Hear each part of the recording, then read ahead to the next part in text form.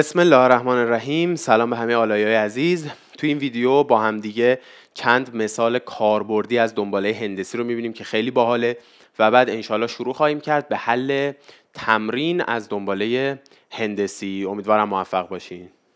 دستگرمی شماره ده دنباله هندسی. دو تا سوال که این سوالا معمولا رو مخته. معمولا با این سوال حال نمی کنیم منم محاسباتشون یه ذره بد میشه. یعنی همه حال نمی‌کنم فکر نکن فقط تویی. ولی کاربردی باحال تو زندگی هم استفاده میشه. سال دوم مخصوصا یعنی سال سه.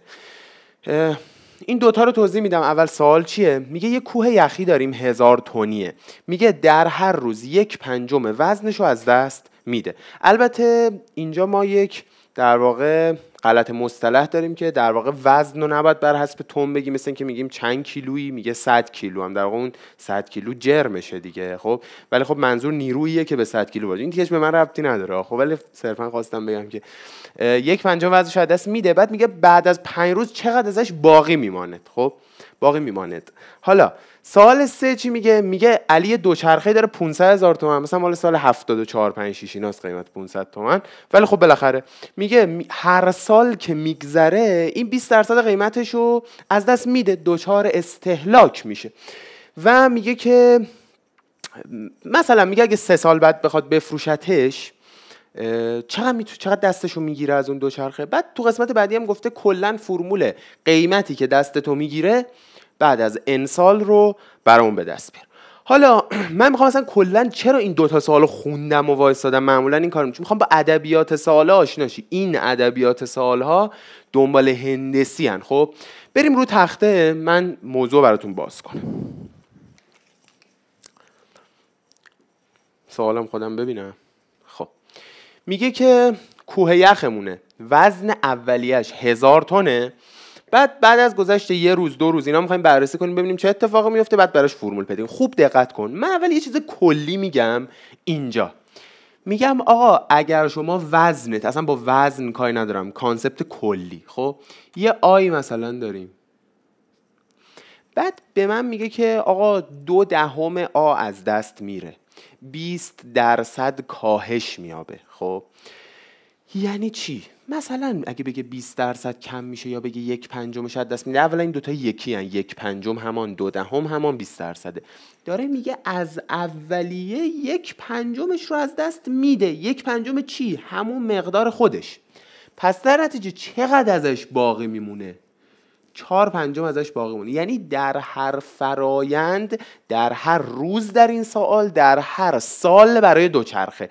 شما دوچار یک چهار پنجم میشی یعنی ضرب در یه چهار پنجم میشی تا قیمت جدیدت به دست بیاد تا وزن جدیدت به دست بیاد تا هر چیز جدیدت به دست بیاد. الان این سوال وقتی میگه هزار تن وزن اولیش بوده یه روز گذشته. مگه نمیگه یک پنجمش از دست میده؟ آقا یک پنجمش از دست بده یعنی چقدرش رو از دست داده؟ خب بعد هزار رو تقسیم بره. پنج کنی میشه آقا دیویست از این هزار تن دیویست تونش رو از دست میده. خب چقدر براش میمونه؟ 800 تن دیگه. حالا مرحله بعدی من با این کار دارم یا با این کار دارم؟ من با این کار دارم. چون عمل کم شدن وزن رو باقی مونده اتفاق میفته دیگه. ما دونیم چقدر مونده؟ دوباره اونو مثلا 20 درصدش ازش ورداریم. الان یک پنجم یا 20 درصد 800 رو روز اول تموم شد. روز اول تموم شد؟ حالا روز دوم شروع میشه. روز دوم تو با چی مواجه بودی؟ اول اول روز با 800 تن مواجه بودی. قرار چقدرش از دست بره تا آخر روز؟ یک پنجمش. خب یک پنجم این چقدر میشه؟ میشه 160 یک پنجم همان. دو دهمه برای دو دهم یعنی ضرب در دو کن یه اشار یه رقم یه دونه از صفراش بنداز. یعنی من چجوری دارم حساب می‌کنم؟ و طبق روال گذشته خدمتتون میگم. آقا 160 جدید از دست رفت. خب چقدر از این میمونه؟ یه 100 تا بره. 700 تا یه 60 تا 640 640 ازش موند. روز سوم شد. روز سوم شد. تو این روز سوم صبح ما با چی مواجه بودیم؟ یه 640 قرار یک پنجمش از بره. خب بذار بره. 20 درصد دیگه. تو دو ضرب کن. دو تا 64 تا 128 تا. یه صفر بنداز. 120 البته خب این 128 میشه. خوش یه صفر داره. که حالا من یه صفر میندازم. پس 128 تا دیگه داره از دست میده. چقدر میمونه؟ اینو کم بکنیم از این. ارزم به حضور شما میشه 512 تا. درسته؟ میشه 10 سی 600 آره دیگه درست. 512 تا موند برای من. یعنی بعد از گذشته مثلا سه روز چقدر مونده این؟ آقا حالا این پروسه ادامه داره بعد از گذشته چهار روز بعد از گذشته پنج روز. تو این سوال من بعد از گذشته پنج روز رو می‌خوام. ممکن بود بگم بعد از گذشته ده روز. آقا نمیشه که همه رو بنویسیم که خسته میشیم مثلا چه کاریه؟ شما اگر دقت بکنی اولیه شما اینجا رو نکن اولیه من هزار بوده گفتم چقدر از هزار و بردار؟ یک پنجم. چقدر از هزار میمونه؟ چهار پنجمش. پس این ضرب در چهار پنجم شده؟ شده این. می‌تونی امتحان کنی. اینم ضرب در چهار پنجم بشه. میشه این. یعنی پروسه اینه که هر روز باقی مانده ما نسبت به روز قبلی باقی مانده ما نسبت به روز قبلی ضرب در یک چهار پنجم میشه. اینو در مورد از دست داده نمی‌تونیم بگیم. ولی در مورد باقی مونده می‌تونیم بگیم. دوباره اگر ضرب در چهار پنجم بشه برابر میشه با 512 پس پس ما می‌توانیم برای میزان باقی مانده یعنی چی بود؟ یخ بود. یخ باقی مانده.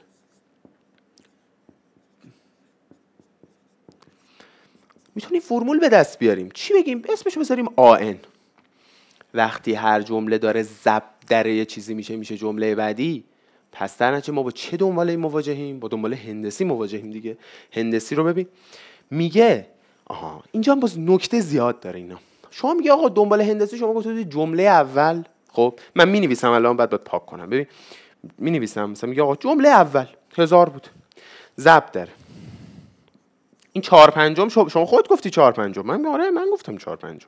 بعد اینجا هم شما گفته بودی ان های یک. من نمی‌دونم گفته بودی ان های یک. ببین تو دنبال حسابی هم اینو داشتی. وقتی سوال واقعیه بعد ببینی خواسته سوال با فرمولی که می‌نویسی تطبیق داره یا نداره. آره فرمینه. ولی شاید لازم باشه با اناش یکم بازی کنیم. آقا الان اینجا یک بذاری یک بذاری. یعنی میزان یخ باقی مانده بعد از یک سال یک روز. الان اینجا. میشه یعنی چی آن؟ میزان یخ باقی مانده بعد از n روز.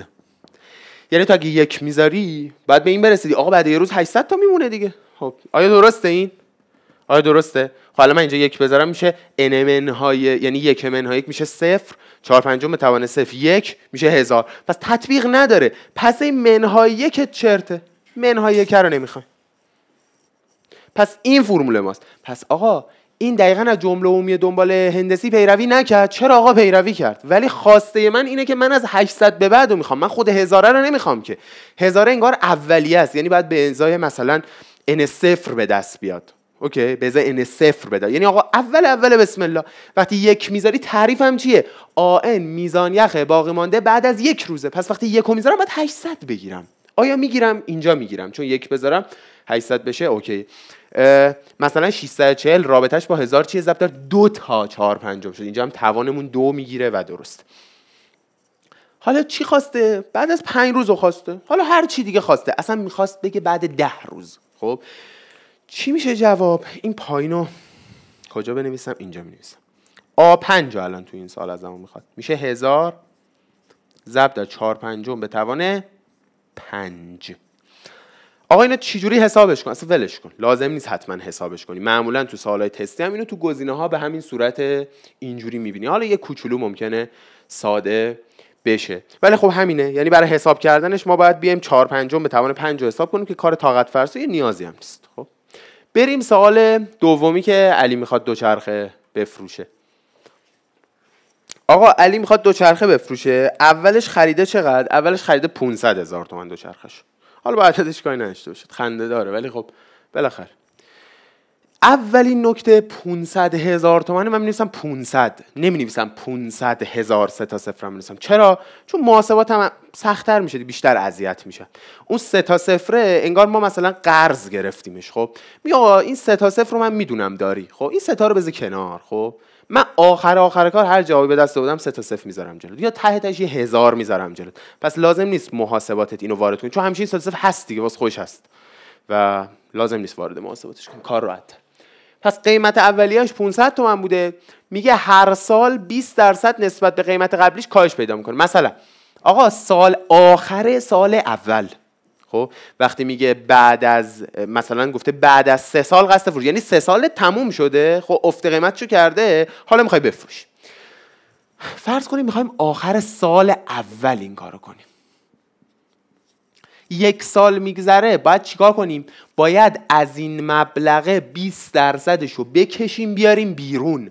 20 درصدش رو ببین چی جوری حساب می‌کنم. گفتم توی دو ضرب می‌کنم یه رقم اشار میدم. یا کلا برای دست آوردن 10 درصد هر چیز مثلا به شما میگم 500 هزار تومان 10 درصدش چیه شما این صفر آخریاشو بذار کنار. داری تقسیم بر 10 می‌کنی دیگه. من این صفر آخر بذار میشه 50 دیگه. حالا 20 درصد دو تا 10 درصد دیگه. میشه دو تا 50 تا یعنی 100 تومن. یعنی من 100 تومن از این ور دارم. یعنی باقی موندم چی میشه؟ باقی ما یعنی ارزش بعد از سال اول. اصلا دیگه مثل قبلی نمی نویسم خب ارزش بعد از سال اول. میشه این 500 نگاه کن نگاه کن فرم نوشتنم عوض می‌کنم تو یه جور دیگه ببینی. زب داره چقدر؟ خب من اومدم گفتم 20 درصدش رو وردار یعنی یعنی یعنی اگر آ بوده 20 درصد آ رو ورداری چقدر میمونه؟ تو هر مرحله داره چه اتفاقی میفته؟ داره زب در هشتهم میشه. زب در هشتهم میشه. هشت. هشتم رو دوباره برات بنویسم.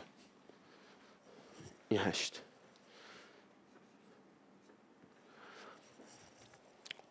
اینجا ضرب در هشتهمش می‌کنم نه کن چی میشه. میشه همون 400 که بهت گفته بودم. من 200 ازش ورداشتم. خب سال دوم چه اتفاقی میفته انتهای سال دوم.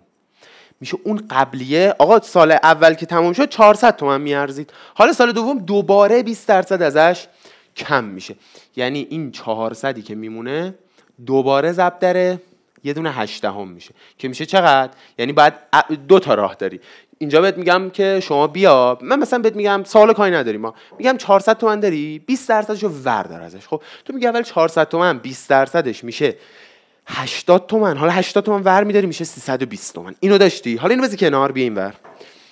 4 8 تا 32 تا. یه دونه از این میره 320 این یکیه ها. یکیه اینا ها دیگه بانک هم می‌خوای بری دیگه باید اینا رو یاد بگیری. یعنی مثلا به شما برمیگردم میگن آقا سپرده مثلا سودش ماهیانه انقدره.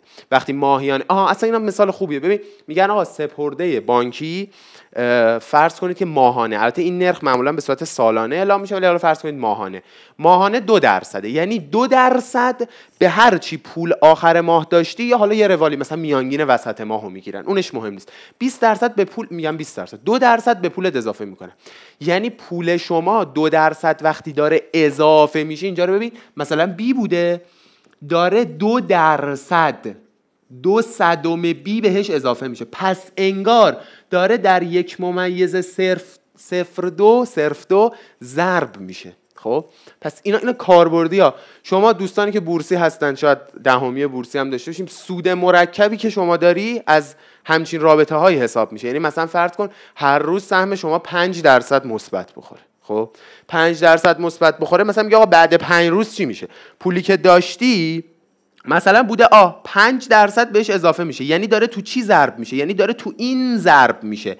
پس شما پول اولیت رو ببین مثلا فرض کنید پول اولیت آ 5 روزم مثبت خورده بعد اینو بری حساب کنی. بعد حساب کنی می‌بینی چقدر عجیب میشه. مثلا اگر شما تصورت اینه؟ ببین یه تصور ذهنی هم داری دیگه. میگه چی؟ میگه روزی 5 درصد. 5 روزم مثبت خورده. 5 5 تا 25 درصد. ولی اینو که میری حساب می‌کنی می‌بینی از 25 درصد بیشتره. مثلا حدود 27 درصد 28 درصد. میگه حالا چیزی نیست.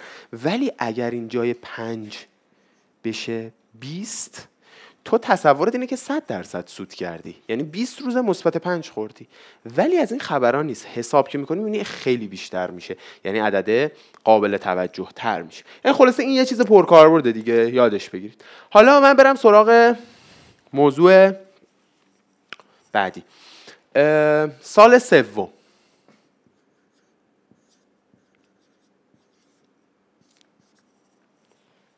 320 بعد دوباره ضرب در 8 هم بشه. خب دو تا راه داریم.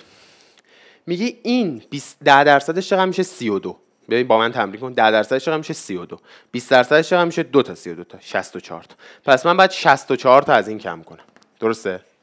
خب حالا از این می‌خوای 64 تا کم کنی چیکار می‌کنی؟ من میگم حالا یه 60 تا ازش کم کن. یه 20 تا میره میشه 300 یه 40 تا دیگه باید کم کنی میشه 260 حالا بعد 4 تا دیگه هم کم کنی میشه 256 خب اینم ضرب کنیم. ناکن ضرب اینو با هم تمرین کرده بودیم. 32 ضرب در 8 30 ضرب در 8 3 8 تا 24 یه 240 داریم. 30 ضرب در 8 ببین دوباره می نویسم اینا رو. اینا حاشیه های کاره ها 32 ضرب در 8 می نوشتیم تو ذهنمون. 30 و یه دونه دو.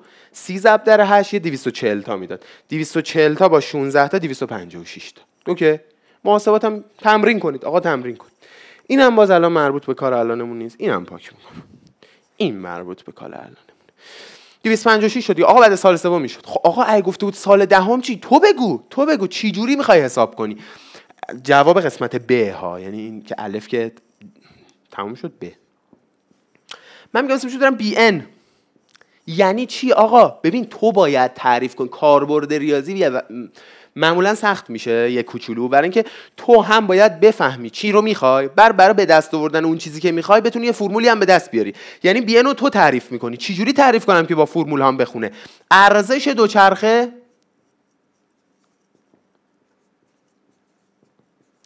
بعد از سال انوم. دارید اینجا رو؟ سال یعنی مثلا بعد سال دوم بعد سال سوم. خب؟ میشه چی؟ قیمت اولیش که 500 تومن بوده. ضرب داره تو چی ضرب می‌شد؟ 8 هم به چه توانی؟ به توان n. دوباره n ها یک ننوشید چرا؟ چون بعد سال اول نشونت دادم که باید ضرب در یه هشتم بشه. یه چیز دیگه هم یه اول سوال گفتم. گفتم لازم نیست اون دو تا صفر رو دنبال خودمون بکشونیم بیاریم. سه تا صفر هزار. الان مثلا اینجا در اومده 400 ما می‌فهمیم آقا قیمتش بعد سال اول 400 هزار تومانه. بعد از سال دوم 320 هزار تومانه. بعد از سال سوم 256 هزار تومانه. حالا با این هم کاری نداریم که در کشور عزیزمون شما یه دوچرخه رو بگیری 400 تومن سه سال بعد 800 900 تومن میفروشی یعنی اینکه برعکس کنی ولی قاعدش در دنیای ایدئال به این صورته که باید قیمت ها کم بشه و دچار استهلاک بشه به شرطی که تورم وجود نداشته باشه. حالا همین موردی که این بالا براتون نوشتم و این سال سوم آقا با این فرموله می‌تونی به دست بیاری؟ آره دیگه. الان من بنویسم 500 ضرب در 8 هم به توان اینم که سه اینم همین میشه. شما میگی نه آقا نمیشه. این توان سه داره. تو ضرب در یه دونه 8 که آقا این 320 رو می‌بینی؟ خب؟ 320 از کجا در اومد؟ 400 ضرب در 8 هم نگاه کن نگاه کن نگاه کن لذت ببر. اینو می‌نویسم 400 ضرب در 8 هم آقا هست دیگه. بعد میگم 400 و نوشتی 500 ضرب در 8 هم نگاه کن نگاه کن نگاه کن نگاه کن. 500 ضرب در 8 هم ضرب در 8 هم ضرب در 8 هم خب 8 هم به توان 3 دی. بابا اعتماد کن. اعتماد کن آریایی. اینم هست. بریم سوال سه. مثال 60 اون تیکه راست تخته است. منم سوال رو اینجا ببینم. مثال 60 میگه جمله عمومیه. خب این کاربردی ها تموم شد. حالا بریم اونایی که بیشتر تو تستا اینا از اینا هم میاد. ولی خب بیشتر. این ریتمیه. میگه یه جمله جمله عمومی یک دنباله هندسی اینه. سه ضرب در دو به توان n. میگه قدر نسبت و جمله پنجم رو پیدا کن. پس یه قدر نسبت از من می‌خواد. یه جمله پنجم. جمله پنجم که خیلی راحته. قدر نسبتم یعنی سوال دستگرمیه دیگه.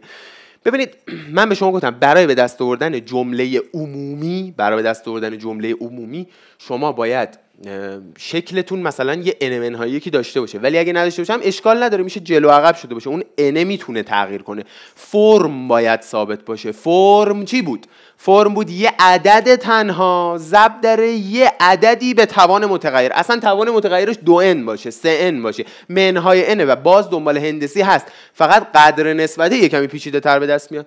برای به دست آوردن جمله اول ما گفته بودیم اینو می‌ذاری یک. دو راه برای دست آوردن قدر نسبت داری. دو راه. یک. جفتش هم بنویسم. آ یک. میشه سه دو تا شیش تا. آ دو. میشه سه ضرب در چهار دوازده. الان کیو آر هر چی اسمشو می‌خوای بذاری بذار. میشه جلویی تقسیم رقبی اگر متوالی باشند. میشه چی؟ دوازده شیشم دو. حالا راه دیگه هم گفتی. آره گفتم نگاه کن. اون پایت. اگر ضریب انت یک باشه همون آره. یعنی یعنی این آره الان. نمی‌خواد هیچ کار کنید اگر اینجوری بود نه آبه اینم یه تکنیکه. اینا رو تو نکته و تستینا بیشتر می‌بینید. اینجا ولی حالا یه اشاره هم می‌کنم اونایی که مثلا فرض کن منهای دو ان به علاوه یک. الان سه ضرب در دو به توان منهای دو علاوه یک مثلا میگه آقا اینجا کیوش یا آرش چقدره؟ شما کافیه برای به دست آوردن آر این بیای این دو رو به توان ضریب این برسون. یعنی دو به توان منفی دو که شما می‌دونید یک چهارمه. این هم هست اینجا به کارمون نمیاد. این از آرمون. قدر نسبت بس در آوردیم. حالا میگه جمله پنجم. خیلی خوشگل و شیک. اینو بذار پنج. آ پنج میشه سه تا. دو به توان پنج تا. میشه سه تا سی و دو تا ضرب کنیم. سه تا سی تا نوت تا سه تا دو تا شیش تا نوت و شیش تا. و بریم برای تختای بعدی. مثال 68 رو ببین. یه دنباله داده 3 منهای 6 12 اینا. میگه نشان دهید این دنباله هندسیه. نشان دهید هندسیه چیکار می‌کنی؟ شما میای ببین سه تا بهت داده دیگه. اینو به این تقسیم می‌کنی. من جلویی و عقبی. خب؟ بعد اینم به این تقسیم می‌کنی. 12 به منهای 6 اگه برابر بودن خب یعنی الان این میشه منهای دو اینم میشه منهای دو. برابره؟ بله. پس دنبال هندسی. تمام. برای مثلا آزمون تشریحیت. به چی میگه؟ میگه جمله عمومی بنویس این باحاله. جمله عمومی اینی که به دست آوردی همون آرس. خب پس من نویسم مثلا آن مساویه با آ1 در آر به توان n منهای یک. خب آ1 چند سه؟ جایگذاری کن خیلی راحت. آن سه در آر. منهای دو به توان n منهای یک. تمام. این میشه جمله. مثلا یک بهش بدی بهت سه میده دو بهش بدی بهت منهای شیش میده. چه نوع دنباله یه بچه ها دنباله نوسانی. نوسانیه که میرا میشه یا نوسانیه که واگواز میشه واگرا میشه. واگرا میشه دیگه درسته؟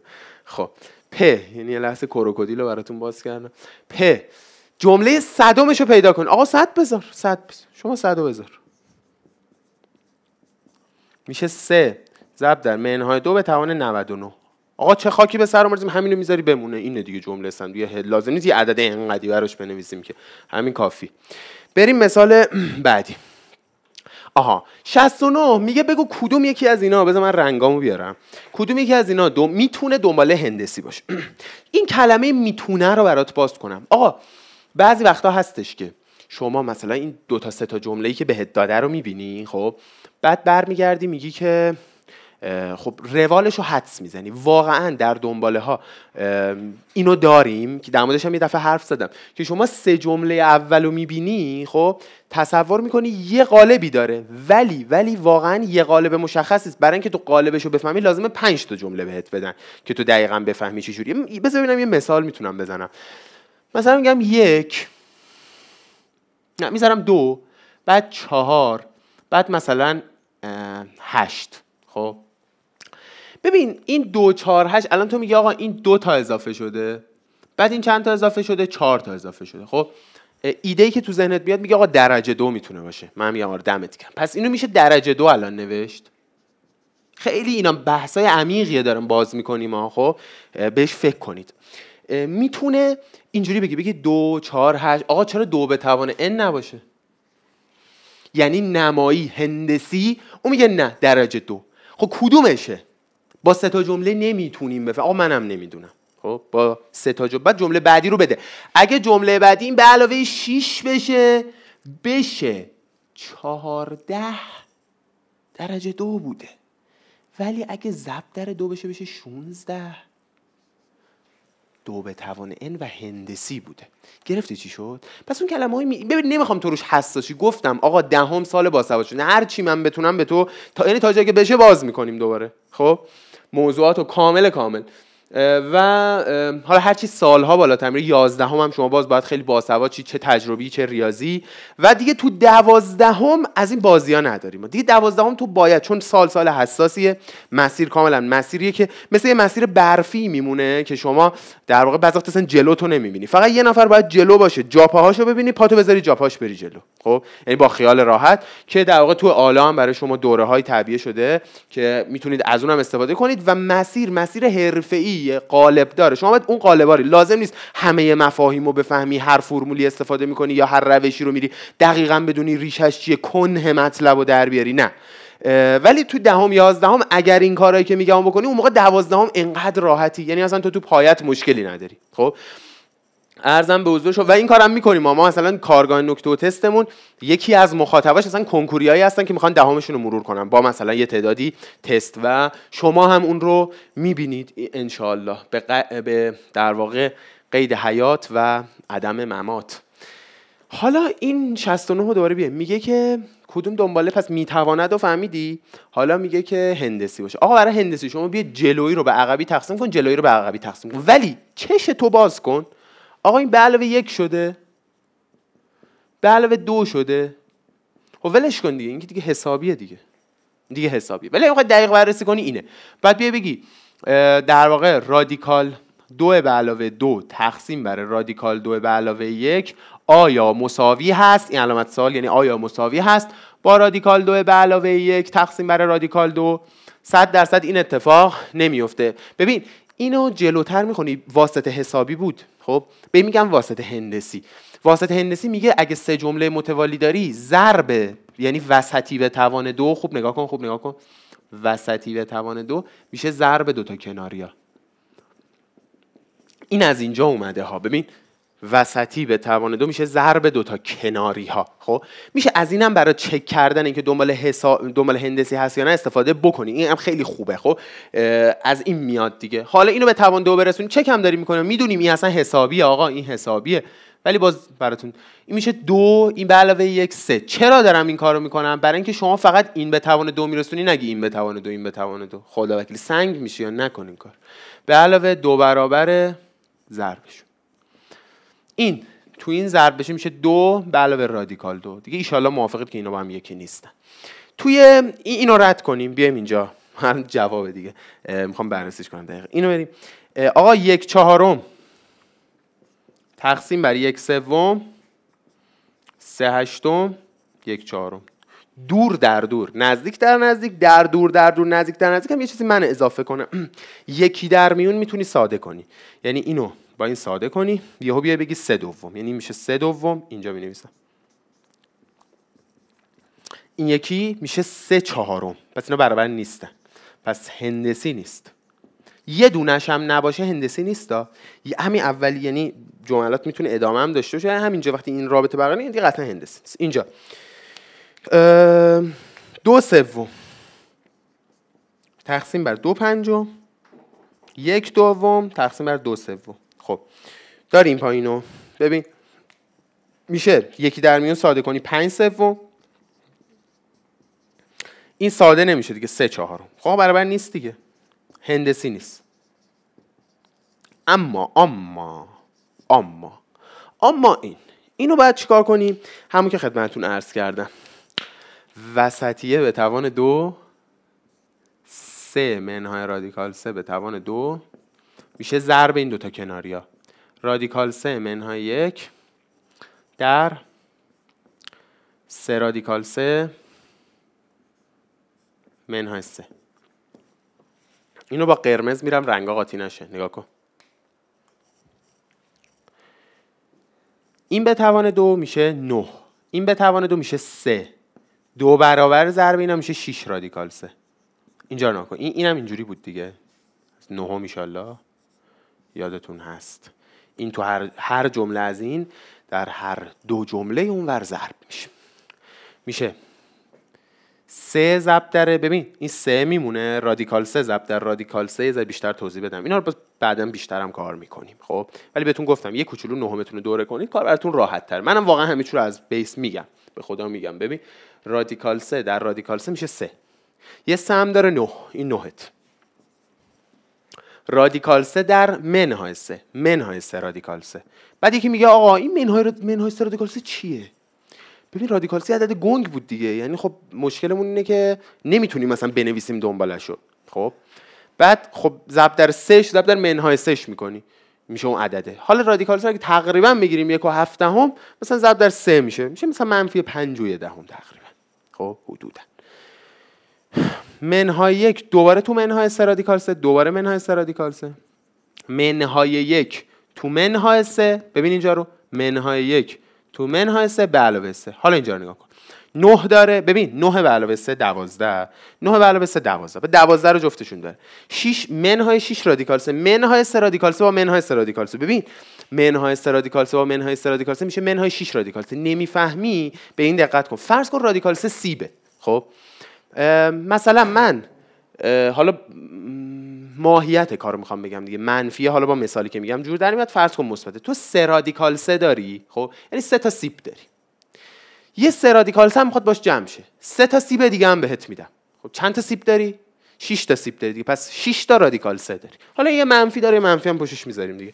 پس اینم با این یکیه. پس هر دو طرف میشن دوازده منهای 6 رادیکال سه پس این ورم میشه دوازده منهای 6 رادیکال سه پس این هندسی هست.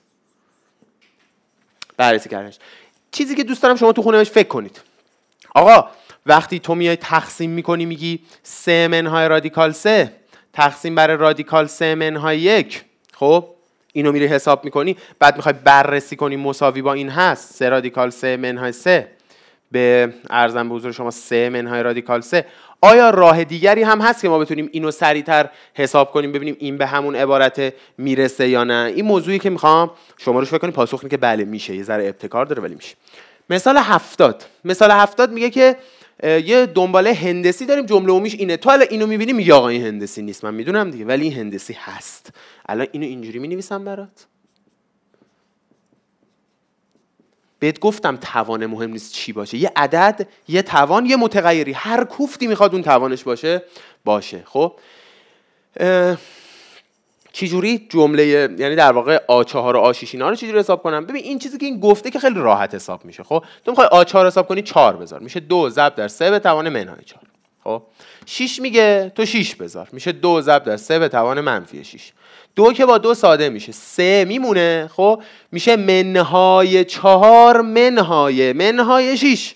آقا می نویس اصلا می نویسم ولش کن. منهای چهار منهای منهای شیش. میشه سه به توان دو. نهو ببین. دوست دارم بیشتر بفهمی از این می‌فهمم که. آقا به هیچ وجه شما نمی‌تونی بگی جمله عمومی این دوه جمله عمومی. وقتی می‌تونی ببخشید میگم جمله عمومی. جمله اولش دوه. وقتی می‌تونستی بگیم جمله اول دوه که اینجا حتما از جنس n های یک باشه. یعنی آ یک در مثلا آر به توان n های یک بود که آ یکمون می‌شد جمله اول. شما هر موقع خواستی آ رو پیدا بکنی بیا n تو یک بذار. هر تو مثلا اینجا یک بذاری میشه دو تقسیم بر سه میشه دو سوم. و جمله اول دو سوم. آقا قدر نسبت رو میشه سریعتر بفهمیم. قدر نسبت گفتم چیه؟ سه به توان ضریب n یعنی یک سومه. یعنی سه به توان منه یعنی هیچی ننوشتم. فهمیدم آرم یک سومه. حالا آ چهار تقسیم بر آ رو ببین من چجوری حل می‌کنم. راه دیگه است. این راه دوه. می نویسم آ یک در آر به توان سه. این که از جمله عمومی باز کردم. این هم می نویسم آ یک آر به توان پنج. از جمله عمومی باز کردم. حاصلش تو ذهنت هم می‌تونی اینو بریم میشه آر به توان منهای دو. حالا آرت چقدر بود؟ سه به توان منهای یک. به توان منهای دو میشه سه به توان دو میشه نه. اینم داریم. اینم یاد بگیریم.